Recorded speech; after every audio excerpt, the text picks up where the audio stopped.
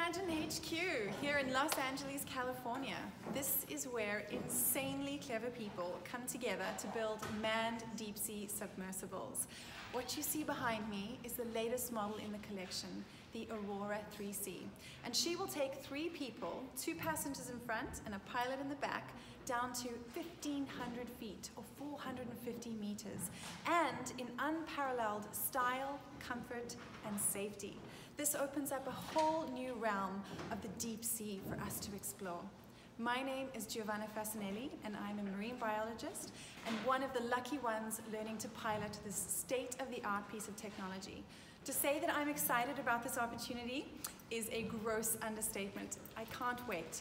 This project has taken years to come to fruition, and we are finally ready to put her in the water for the first time. So if I were you, I would watch this space.